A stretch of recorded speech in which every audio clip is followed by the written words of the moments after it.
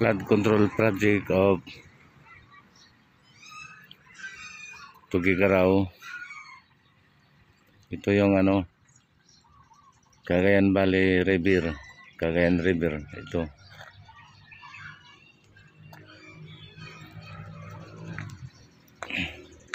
Ginawa ito noong 2016 hanggang 2019.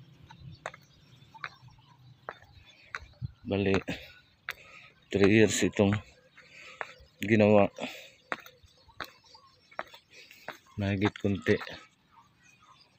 Ito na yun guys. Revetment. Revetment ito. Mayroon siyang tatlong berm. Pang-apat yung top slab. First berm, second berm, third berm. Saka yung last na yung top slab. Ito, ang pagkagawa nito, tubig ito dati guys, ilog ito, tinambakan lang ito. Sandbackfill sa underwater. Tapos sa common material na yung after after sa level sa tubig. Sa baba, yun ang apron slab. Tapos may pile cap yan. May sheet pile yan, binaon. Yung gilid na yan, sheet pile yan. Sheet piling ang unang activity dyan.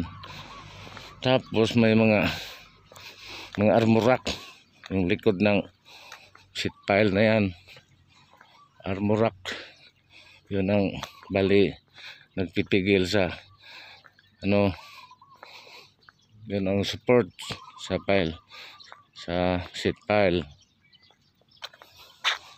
tapos itong cross block na yan proteksyon yan sa alon at saka agos ng tubig para mapahina niya yung agos at saka yung mga alon-alon para, hindi siya hindi siya gagawa ng damage.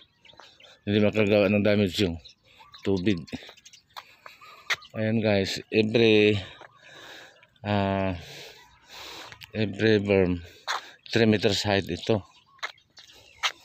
So itong first berm na yan 3 meters na yan. Second berm 6 meters.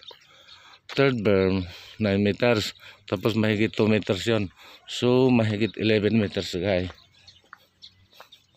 tapos mababa pa yung tubig? So ang tubig dito ngayon nasa mahigit 12 meters mula top tapos kung magbabaha dito guys inaabot yung ano babaw.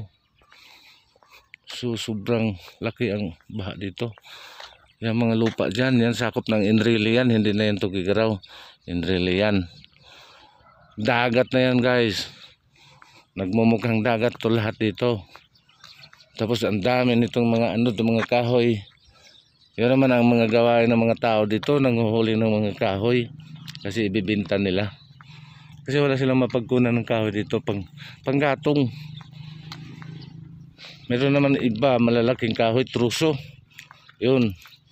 Pinapatsinso nila yun. Ginagawang mga lamber tapos binibinta nila. Ah, nagkakapira din ng mga tao dito tuwing baha yun. Kaya pag baha dito parang pista ito ang daming tao dito mga nanonood iba lumalangoy sa tubig ng huli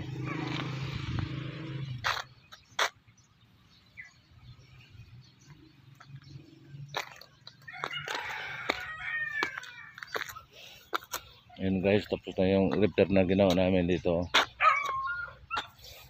Ano ito guys, barangay Katagaban Nuevo. Pero yung umpisa ng project na ito doon sa kabila, barangay Katagaman Viejo.